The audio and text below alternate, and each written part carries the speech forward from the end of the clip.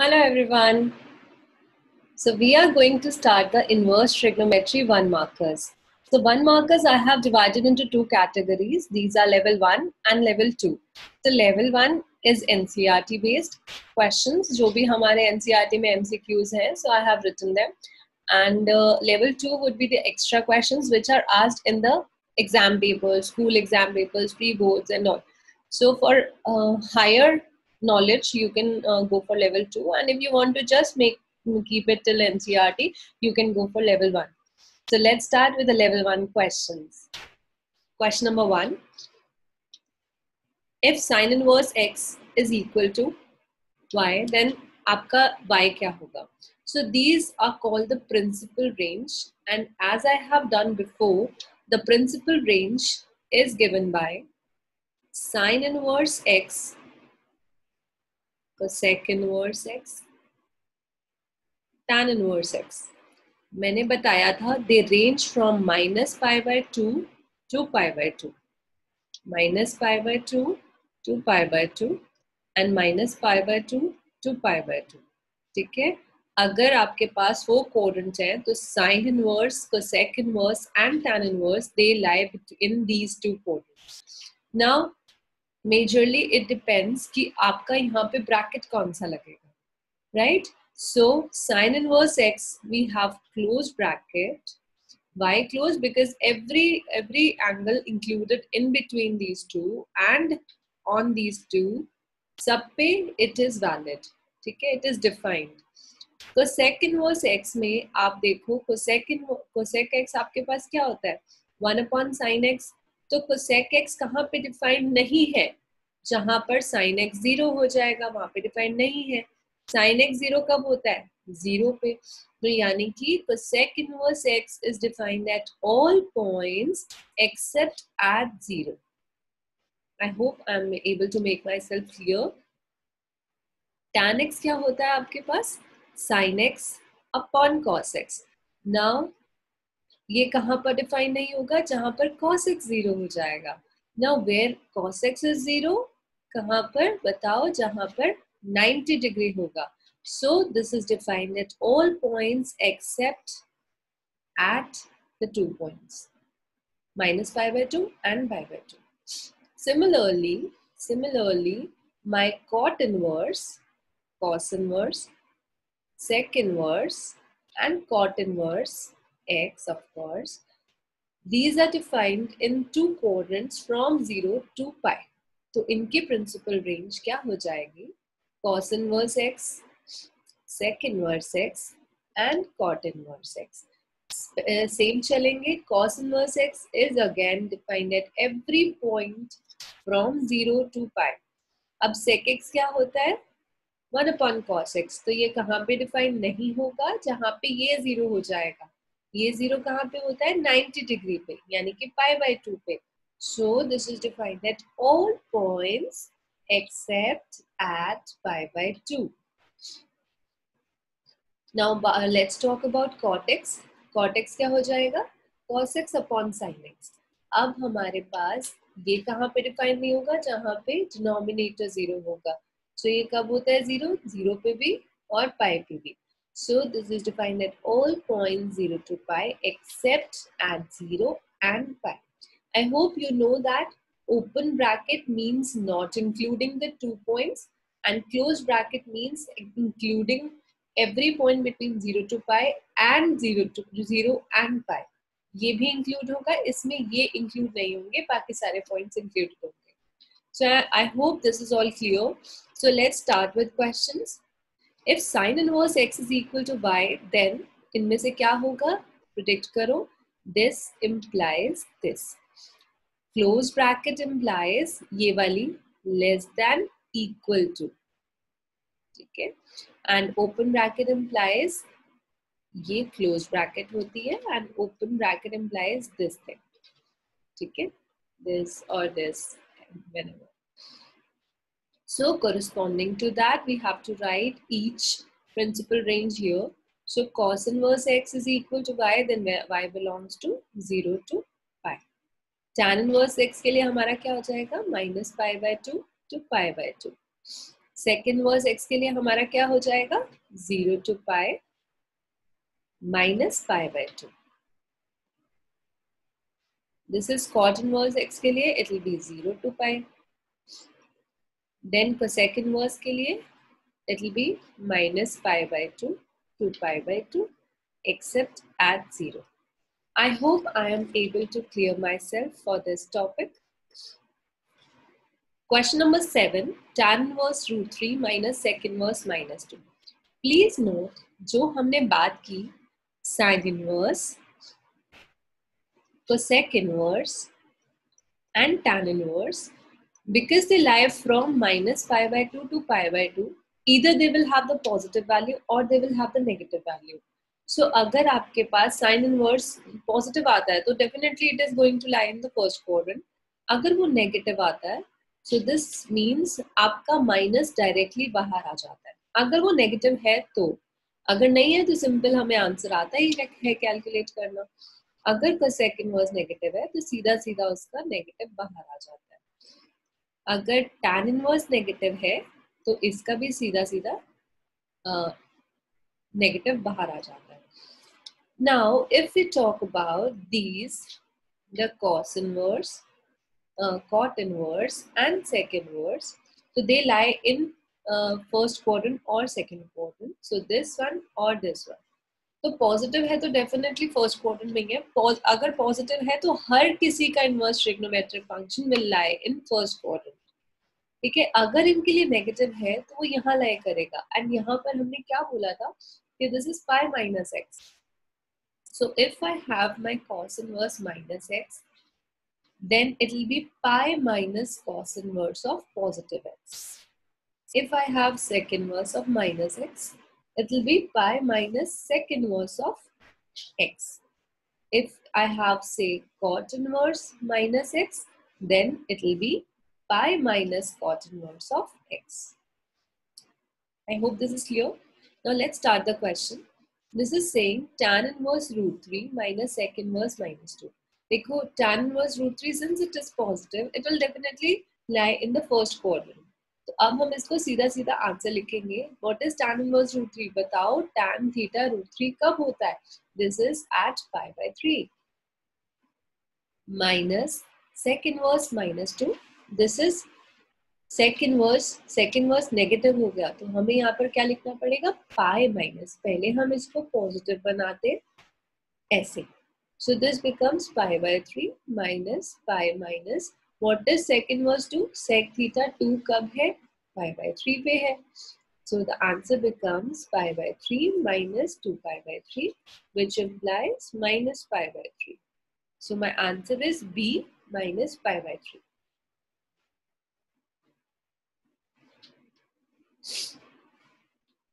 question number eight principal value of this again cot inverse negative हो गया तो यहाँ पर क्या पहले हम इसकी कन्वर्जन करेंगे? That will be pi minus cot inverse 1 by root 3. Now, cot theta 1 by root 3 kab hota hai? So, this is pi minus um, pi by 3. Yes. So this is 2 pi by 3. This is my answer. The value of this. Okay, this is the most important question very frequently asked in the schools, in the exams. So uh, we have three combinations. The three combinations are sine inverse x plus cos inverse x is equal to pi by 2. Then uh, cosec inverse x plus sec inverse x is equal to pi by 2 and tan inverse x plus cot inverse x is equal to pi by 2. हमें पता है ये team है ये वाले एक team है और ये वाले एक टीम है अब ये दोनों एक एक टीम के पेयर करेंगे and they will give you five five by two five by two five by two so right now यहाँ पर कोई भी कॉम्बिनेशन आ सकता है मान लो sine inverse plus cos inverse आ जाए, या तो tan inverse plus cot inverse आ जाए, या तो sec inverse plus cosec inverse आ जाए this is called the pairing and each pair is equal to pi by 2. Now you have to find the value of cos pi by 2. What is cos pi by 2? This is 0. अब इसमें भी कुछ भी आ सकता है cot आ सकता है साइन आ सकता है, कुछ भी आ सकता है I hope this is clear Question number 10. Cos inverse cos 7 pi by 6 is equal to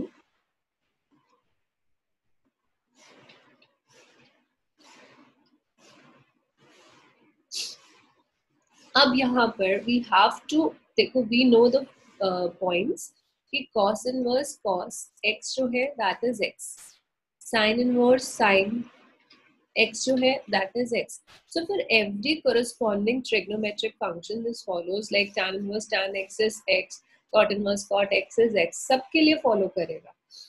now the question is कि आपके पास ये जो x है that should lie in the principal branch of corresponding trigonometric function so principal branch में ये आना चाहिए। So right now, 7 pi by 6 is greater than pi, but the principal branch of cos is 0 to pi. तो इसको 0 to पाई लेके आना पड़ेगा तभी आप ये वाला फॉर्मूला अप्लाई कर सकते हो। सो so, पहले हम इसको लेके आते हैं। So this is my cos inverse cos 7 pi by 6 I am writing as pi plus pi by 6 this is what you have to be smart enough to break जैसे हम स्मॉल क्लासेस में करते हैं। सो सेवन बाई सिक्स को अगर हमें break करना है तो I would be writing one plus one upon six ऐसे लिखते हैं ना इसको one one upon six mix fraction में सो दैट इम्प्लाइज दिस और अगर मेरा सेवन पाई बाई सिक्स होगा तो it will be one pi plus one pi by six So I have uh, broken this into 7 pi by 6 into pi plus pi by 6. Now this lies in third quadrant. Third quadrant means ये minus cos pi by six हो गया. And cos inverse में negative क्या होता है बाहर आता है pi minus बन जाता है हमने किया था अभी so this becomes pi minus pi by 6 which is 5 pi by 6 so my answer is 5 pi by 6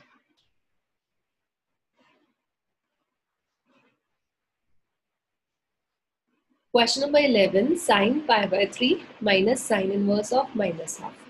So we will start putting the values. This is sine pi by 3 minus sine inverse में मैंने क्या बोला directly directly negative जो है वो बाहर आ जाएगा so it will be minus sine inverse half so this becomes sine pi by 3 plus sine inverse half is what pi by 6 Now what is sine pi by 3 plus uh, pi by 6? That is pi by 2. So sine pi by 2 is 1. We know that very well. So taking it up. Question number 12. Again वही चीज़ आ गई है. This is tan inverse root 3 minus पहले cot inverse negative है इसे हम positive बनाएँगे by putting pi minus. So this is pi minus cot inverse root 3. This becomes tan inverse root 3 minus, what is pi minus cot inverse root 3? That is, okay, we are just going to write the values. Tan inverse root 3 is pi by 3 and cot inverse root 3 is pi by 6. So this becomes pi by 3 minus 5 pi by 6. Uh, taking LCM, this becomes 2 pi minus pi, that is minus 3 pi and the answer is minus pi by 2. Uh, okay, so I think this option is correct. Uh, incorrect. ये option is incorrect. Right? This will be minus pi by 2.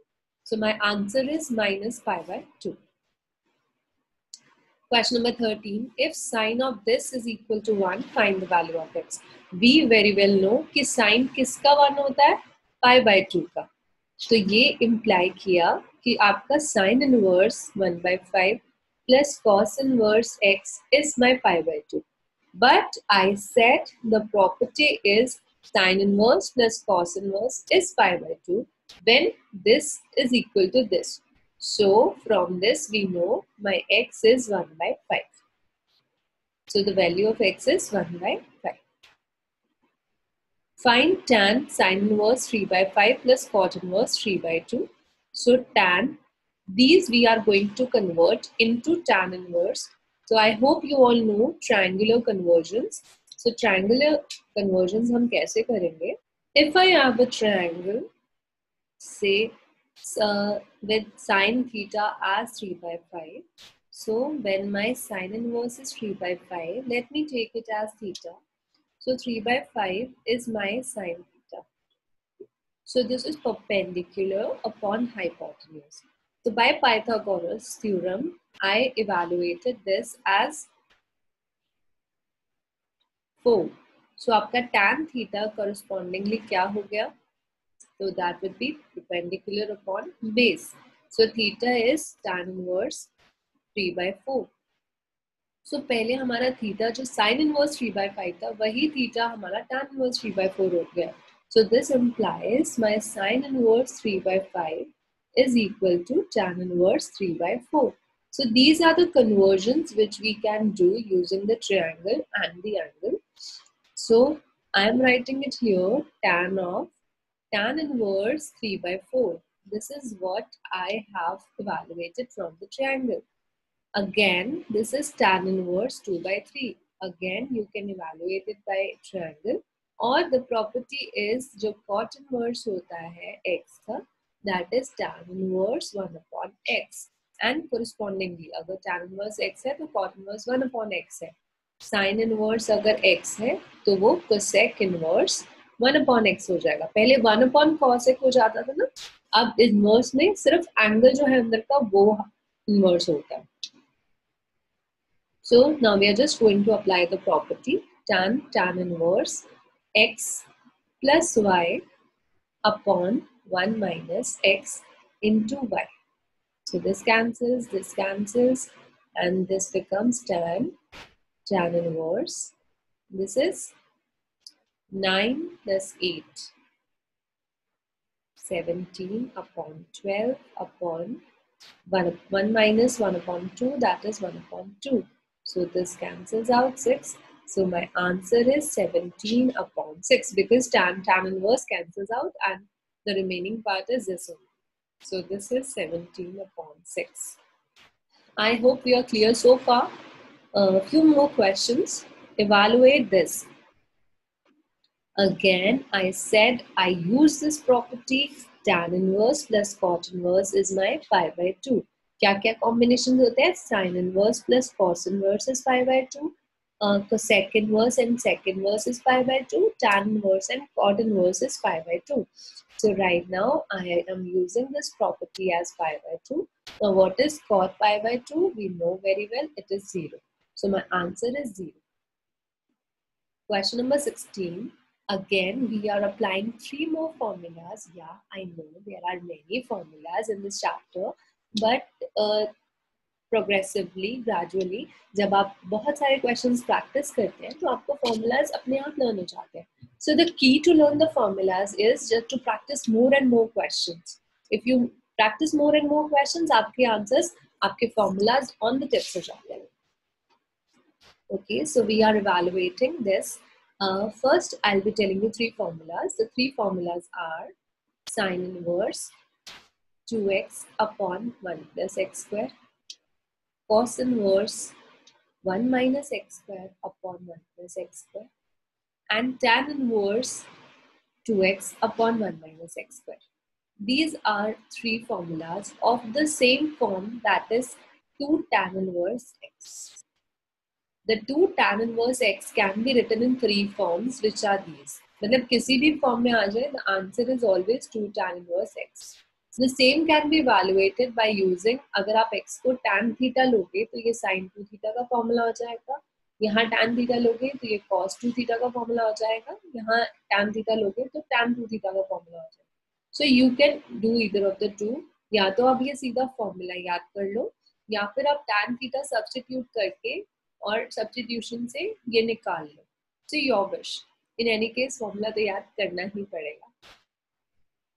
So this is Uh, so we are applying the formula here. This is my 2 tan inverse x and this is my 2 tan inverse y. So applying this formula, this is tan of half 2 tan inverse x plus 2 tan inverse y. क्योंकि यहाँ y है so correspondingly यहाँ y आ गया so we are cancelling 2's this becomes tan of tan inverse x plus tan inverse y. So ये क्या हो गया? We are applying the formula again. Tan inverse x plus y upon 1 minus xy. So ये cancel hoga and the answer is x plus y upon 1 minus xy. Find the value of okay this is given to you so this implies कि हम directly ये वाला formula लगा सकते हैं। अगर ये x y greater than one given होता देन हम पाई प्लस फॉर्मूला लगाते find the formula of this find the value of this again ये प्रिंसिपल में ब्रांच में आना चाहिए, तभी आप इसको साइन इनवर्स साइन करके खाली एंगल लिख सकते हो। But right now it is not coming the principal branch पहले हमें इसे लेके आना। होगा so let's start the procedure sin inverse sine 3 pi by 5. I can write my 3 pi by 5 as 5 minus 2 pi by 5. So this lies in second quadrant. Second quadrant में sin positive होता है तो सीधा सीधा sin 2 pi by 5 आ गया अगर cos होता है यहाँ पे तो वो minus cos 2 pi by 5 हो जाता है so this is now sin inverse sin 2 pi by 5 sin inverse sin cancel हो गए the answer left is 2 pi by 5 so this is 2 pi by 5 again bringing cos inverse into its principal branch. So 13 pi by 6 go I'm writing as 2 pi plus pi by 6. This becomes cos inverse cos simple pi by 6 because ye ghum fir ke kaha aaya first quadrant. So that would be just pi by 6. Tan inverse tan pi by 6. This becomes tan inverse tan pi plus pi by 6 the 7 pi by 6 third part i'm doing so tan inverse tan pi plus pi by 6 now this becomes tan inverse tan pi by 6 these are Again, this is 5 by 6. This is in first quadrant, therefore positive. अब positive है तो simple simple cancel हो गया. 5 by 6 आ गया. Fourth part, this is tan inverse tan 3 pi by 4. So 3 pi by 4 is 5 minus 5 by 4. This becomes tan inverse. Which quadrant is this? This is the second quadrant. So minus tan pi by 4. Now negative अगर आपके पास tan है, so directly बाहर आ जाता है. So minus tan inverse tan pi by 4. That's it. So the answer is minus pi by 4. This is pi by 6 and this is minus pi by 4. Try it out. कुछ भी combinations लगा के करो इसको cos inverse बना दो इसको tan inverse बना दो और सारे करके देखो just tell me क्या क्या आंसर आता है आपका Question number 18, we just apply the formula. What is tan inverse x minus tan inverse y? So my tan inverse x minus tan inverse y is what? Tan inverse x minus y upon 1 plus xy. Okay, this is my formula. So we are going to apply the formula here. This is tan inverse x upon y minus x minus y upon x plus y upon 1 plus xy. So xy into x plus y, x minus y upon x plus y. Lots of x in the y. Okay, so we are just evaluating this. Sara evaluate karna, kholna, you will find this as 1. And what is tan inverse 1? That is pi by 4. Sine tan inverse x, again we are going to evaluate this using the triangle. तो triangle में convert this into sine inverse so that आप sign sine inverse को cancel कर सको so I am going to convert the से this is my theta tan inverse x है तो यानी कि परपेंडिकुलर अपॉन बेस गिवन है इसके अकॉर्डिंग पाइथागोरस थ्योरम से 1 x स्क्वायर आ गया so my tan inverse x is equal to my sin inverse perpendicular upon hypotenuse. So my sine of tan inverse x becomes what? Sine of sine inverse x upon root 1 plus x square. अब इसमें sin sin inverse cancel हो गया and my answer is D. I hope this is all clear. So finally, these were level 1 questions. For level 2 questions, you can please watch another video.